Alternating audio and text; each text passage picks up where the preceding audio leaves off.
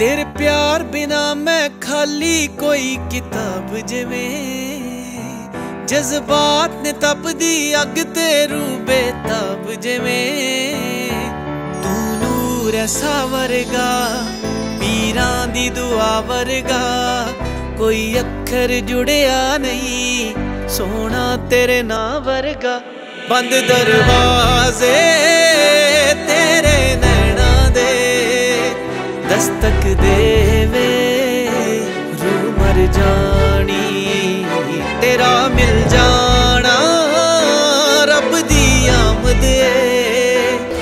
ਤੇਰਾ ਵਿਛੜਨਾ, ਅੱਖ ਦਾ ਪਾਣੀ।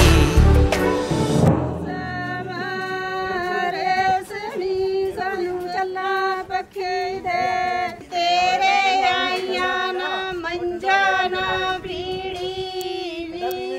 ਸਾਡੇ ਆਂ ਵੀ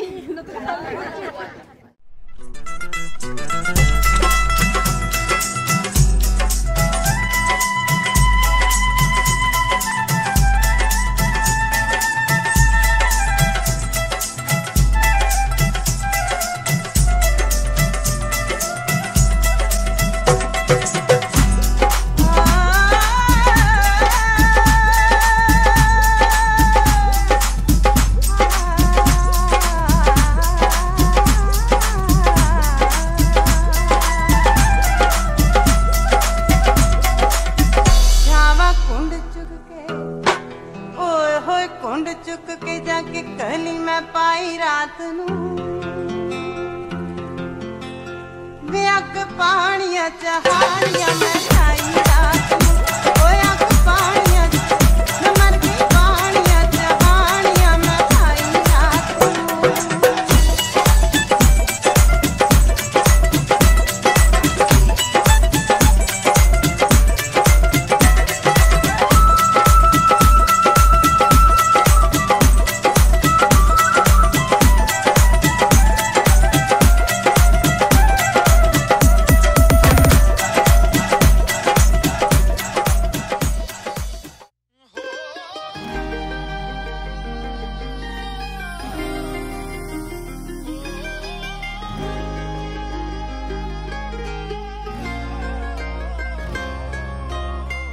ਉੱਡਦੀ ਏ, ਧੁੰਦ ਨੀ ਬੀਬਾ। ਕਣਕਾਂ ਦੇ ਖੇਤਾਂ ਚੋਂ ਮਿੱਠੀ ਜਈ ਖੁਸ਼ਬੂ ਆਵੇ ਨੀ ਸਲੀਆਂ ਜਈਆਂ ਰੇਤਾਂ ਚੋਂ। ਫੱਕਰ ਕੋਈ ਦੂਰ ਦੁਰੇਡੇ, ਗਾਉਂਦਾ ਏ ਹੀਰ ਨੀ।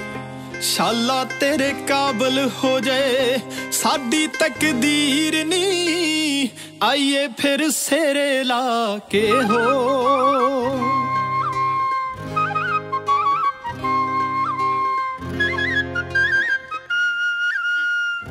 ਪੁੱਛਨਿਆ ਨਿਤ ਸਿਰ ਤੇਰੇ ਨੀ ਕੋਇਲਾ ਤੋਂ ਉਹਨਾਂ ਨੂੰ ਸੜਾ ਹੁੰਦਾ ਮਿੱਠੇ ਤੇਰੇ ਬੋਲਾਂ ਤੋਂ ਤੱਕ ਕੇ ਤੈਨੂੰ ਚੜ ਜਾਂਦਾ ਏ। ਜੋ ਬਨਨੀ ਫੁੱਲਾਂ ਤੇ ਪੌਰਾਂ ਨੂੰ ਸ਼ੱਕ ਹੋ ਗਿਆ, ਸੂਹੇ ਤੇਰੇ ਬੁੱਲਾਂ ਤੇ ਹੁੰਦੇ ਜੋ ਪਤ ਗੁਲਾਬੀ ਹੈ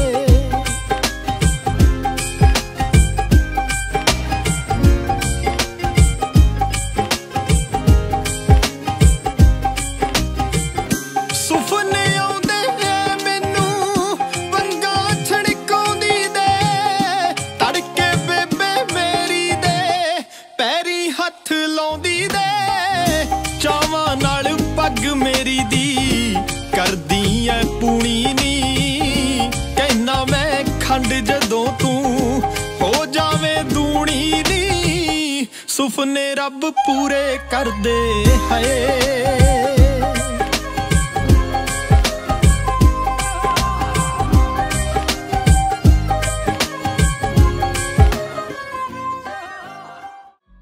ਪਰਮ ਸਨਮਾਨਯੋਗ ਗੁਰੂ ਸਾਧ ਸੰਗਤ ਜਿਸ ਸਮੇਂ ਦੀ ਉਡੀਕ ਬੜੇ ਲੰਮੇ ਸਮੇਂ ਤੋਂ ਕਰ ਰਹੇ ਸਨ ਗੁਰਸਾਹਿਬ ਨੇ ਰਹਿਮਤਾਂ ਕੀਤੀਆਂ ਨੇ, ਉਹ ਖੁਸ਼ੀਆਂ ਭਰਿਆ ਸਮਾਂ ਆਇਆ ਹੈ। ਅੱਜ ਇਹ ਸ਼ੁਭ ਨਾਮ ਕਾਰਜ ਹੋਣ ਜਾ ਰਹੇ ਹੈ। ਆਪ ਜੀ ਨੇ ਰਹਿਮਤਾਂ ਵਰਤਾਉਣੀਆਂ ਸਮੁੱਚੇ ਕ੍ਰਿਸ਼ਤ ਜੀਵਨ ਦੀਆਂ ਖੁਸ਼ੀਆਂ ਆਉਣ ਵਾਲੇ ਸਮੇਂ ਦੀਆਂ ਬੱਚਿਆਂ ਦੀ ਝੋਲੀ ਚ ਪਾਉਣੀਆਂ।